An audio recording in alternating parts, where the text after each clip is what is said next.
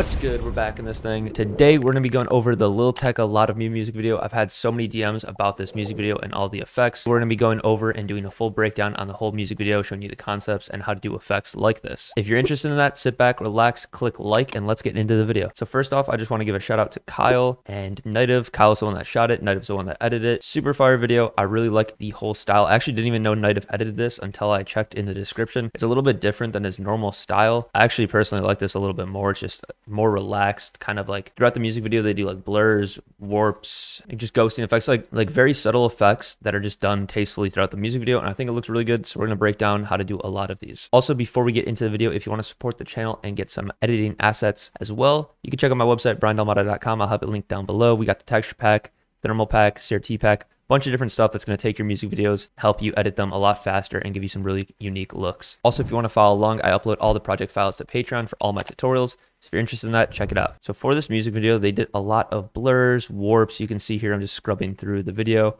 a lot of just like subtle things that look really good. And I'm going to go through and give you some effect names and different ways I would use them personally. We're not going to be taking every single effect and breaking it down, but I'll show you the concepts. And hopefully by the end of this video, you'll be able to understand how all these effects were done and then be able to put your own twist on it. So I just want to go through and show you three effects that I kind of came up with using very similar styles that he did in this music video, but a little bit different in my take on them. This first one's like a little bit of blur, like glow and warp here. I did a really bad job on the rotoscope. I just wanted to show you the example of what you can do. If you turn off the rotoscope here, you can see the effects kind of just like a, a, warp. I like that effect personally a lot. It's really simple. It looks good. This next one is also really simple. It's just a clone behind him. A little bit of blur. I'll touch on that effect in a second. And lastly, this is my favorite effect that he did in the music video. So I kind of try to do my own take on it. We have the tile moving down and like, it almost looks like it's a kind of like liquid scaling up the wall. I tried to have the inside part here, like the inverse of this. So when this would go up, this inside part would go down. And then I have like the clone behind him, kind of like a, like a blur ghost trail kind of effect. So those are the three effects we're going to be going over. I'll touch on some effects that I would use to get looks similar to this and point you guys in the right direction when making effects like this. I'll give you some effect names that are plugins. That way, if you have some plugins, you can use it. And then I'll also go through some native ones. So if you don't want to buy any plugins or download anything, you can do it that way. So starting off here, let's go over this effect at first. I'm going to assume for this tutorial that you guys know how to rotoscope. Basically, if you don't, this is the rotoscope tool out here. You're just to brush out your subject, click freeze, and then duplicate the layer. So you can see the top layer is just Lil Tecca here it's him masked out basically. And then the bottom layer is where the effect's to be done. We're to be doing that for all of the effects. So if you are not familiar with rotoscoping, go through all my other tutorials. I go over it more in depth, but I just want to save a little bit of time for this one. So let's just start from the beginning and I'm to go through the effects that I use. So you can see here, I use Sapphire, Distort Blur, turbulence displace and glow turn on and off each single one so you can kind of see what they do i think the main thing in this one is the distort blur i really like how this turns out but you can do something similar with a turbulence displace, some glow, and then like a Gaussian blur. So let's go through and break down each of them. I really like the way distort blur works. So I'm going to drag that on. And as you can see, when you first drag it on, it doesn't really do anything too cool. I think to get a good look, you want to bring up the blur lens a little bit. You can see how it gets a little smoother. I think it just makes it look a little bit more trippy and stuff like that. And you can play around with the blur amount. And all these things are keyframeable. You can start off at zero and add it in. Let's do something a little bit different than what I did. So I'm going to start off with the blur amount keyframed to zero and we'll make it a little bit more like trippy looking as it goes on. So we're just going to bring up the blur amount, maybe something like one. It's all going to be dependent on what you think looks good. You could also turn up the warp amount if you want. I think that looks cool. Let's do that. So I'm going to bring up the warp amount a little bit so it warps. Let's go to that first frame again and reset the warp amount. I'm going to press U on my keyboard to open up those keyframes. And let's drag that all the way to the end. And then I'm going to highlight both of those, click F9 or easy ease our keyframes. And you can see that's starting to look pretty cool. I think it's really, really subtle. And honestly, I like how it's subtle. But if you wanted to add a little bit more trippiness or you didn't have distort blur, you could use something like turbulence displace. And I think that's going to give you a very similar look. It's just going to enhance that like trippiness to it. With turbulence displace, you can play around with so many different settings like the turbulence, bulge, twist, all these different settings are going to give you different looks. Let's do twist for this one. And I'm going to do the same general concept where it doesn't start off with anything at the beginning.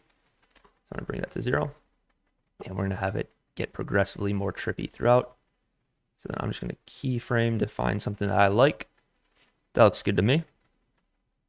Let's drag that all the way to the end. And then again, easy easing those. And I like that, but I think the size of the displacement is too small for me. I'm not going to keyframe this, but I'm just going to make it a little bit bigger. So it's like more bigger waves. Once you go through and play with these effects, you'll understand how to use them a lot more. I highly encourage that you go through don't copy the values that I'm doing or try to replicate anything that Night did in his video. Just take inspiration from it and then make your own effects out of it. So that's what we're doing here. I think that's looking pretty good. I like how the trippiness. Then there's some other things you can add. You can add some glow, some blurs. You can add so much to this. I think for this effect, I would call it good here. In the last version, I did have glow, but I think I like it like this. And I think that's the main reason I like this music video so much is because the effects are pretty subtle and they're not in your face. So something like this fits into the music video really well. And uh, I like how it looks. So like I said, Sapphire Distort Blur would be great for this effect. If you don't have Sapphire, you can use Turbulence Displace and maybe instead of distort blur, you could do something like Gaussian blur. Also go through all the distorts that are built into After Effects. All these different distorts in here are to give you different looks, very similar to tur turbulence displace, but they're just to do different things to your footage.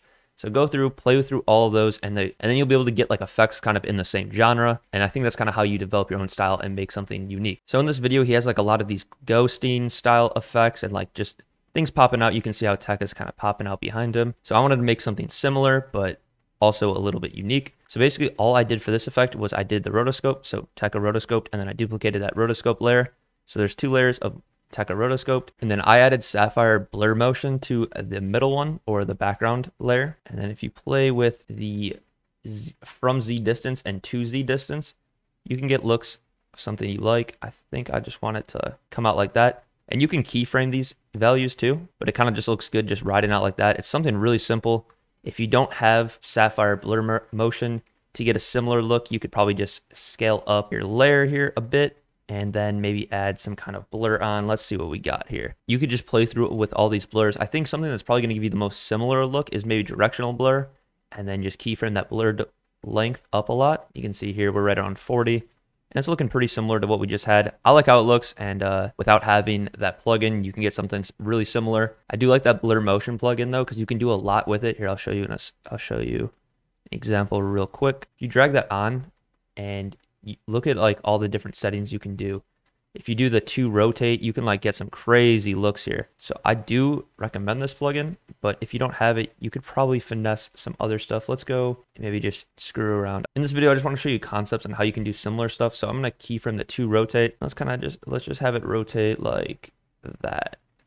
I wonder what that looks like. I've never done this before, but it might look cool. It's easy to ease those. And it kind of goes with like the motion and the movement he's doing. So I think it works. Maybe I do a little bit more subtle of an effect, but I do like that there's so many different things you can do and experiment with this effect itself. Like you can just keyframe all these settings and everything. So you could really come up with some cool stuff. I like this plugin a lot and you can make some similar stuff that he did in the music video that way. And then lastly, I just want to go over this effect here. There's a lot going on, but I'm going to try to make it as simplistic as possible. Basically, it's just two different effects going on with a lot of different masking and rotoscoping.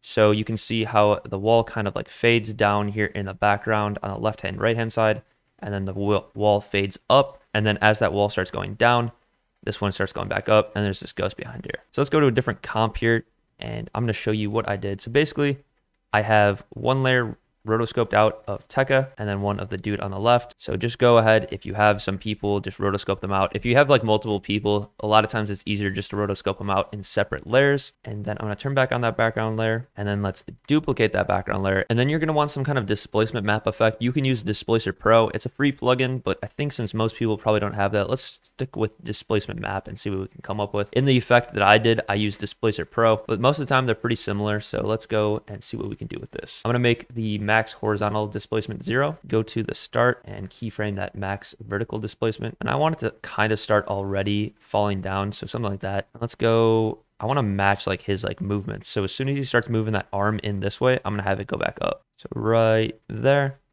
And then let's have it go all the way down to whatever we want. Like that looks good. And then let's go to the last frame. And I'm actually going to bring it past just a little bit so it has a little bit of smooth. And I'm going to bring it a little bit past the end too. That way it just continuously moves up. And then I'll highlight all those and click F9 and we can see what we got. That's looking pretty smooth, honestly, already. I really like how that looks. What I would do to this though is I would add some RSMB onto the layer just so it smooths these edges out a little bit.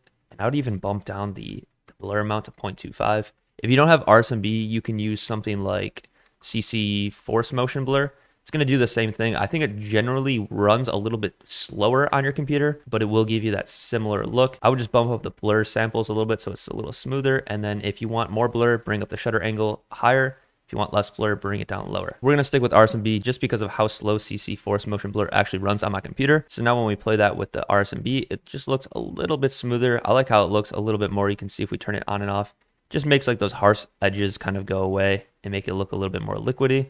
And if you really wanted to do what I did and, you know, either mask out and not have it do certain areas, all you'd have to do is duplicate your background layer. I'm going to drag it above this layer of Tecca with a displacement map and then go to the pen tool. I think it's probably the easiest to use the pen tool for this effect here. And then let's just trace this wall down. And I'm going to do a real rough job just for the sake of tutorial. What you do is you go to the mask, open that up, keyframe the position. Let's go 10 frames to the left because I didn't even start in the at the beginning or the end. So let's click shift on our keyboard to move that point. And we can just move these points and kind of follow the outline of the wall. If you wanted to do something that was a little bit more complex, you would just use the rotoscope tool. And let's go to the beginning. And like I said, if you wanted to move each individual point, all you do is you just press shift and it should allow you to move these keyframes and then just go in between the keyframes when you're like moving 10 frames at a time and just tweak them a little bit. Like I said, for the tutorial, I'm to go relatively quick. So it might not be absolutely perfect, but you'll understand what I'm doing here.